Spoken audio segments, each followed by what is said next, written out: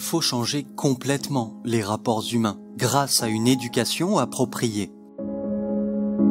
Mais on croit que ce n'est pas possible, on est fortement convaincu que c'est impossible.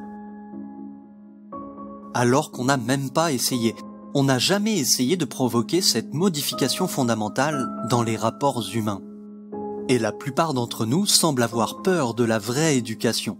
On n'a pas envie de l'essayer. On évite d'examiner la question à fond.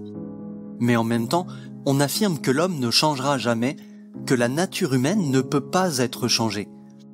On accepte les choses comme elles sont et on encourage les enfants à s'adapter à la société actuelle. On les conditionne selon notre façon de vivre et on prie pour qu'ils s'en tirent le mieux possible.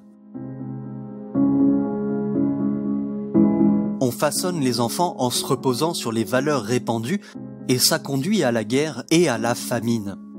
C'est comme ça que j'ai été éduqué, c'est comme ça qu'on vous a éduqué, et si vous ne changez pas, c'est sans doute aussi comme ça que vous allez éduquer vos enfants. Mais franchement, est-ce que ce façonnement peut vraiment être appelé éducation? Évidemment non, en un sens, ce n'est pas vraiment de l'éducation, c'est du conditionnement, de la corruption, de la destruction.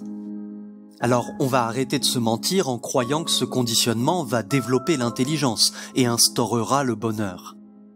On continue d'avoir peur, de n'avoir aucune affection, d'être paresseux. Ça montre bien qu'on ne veut pas vraiment encourager les enfants à s'épanouir en amour et en humanité.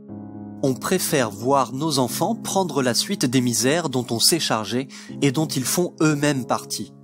C'est évidemment stupide de conditionner les enfants jusqu'à leur faire accepter leur milieu tel qu'il est. Tant qu'on ne changera pas radicalement l'éducation, on sera directement responsable de la perpétuation du chaos et de la misère.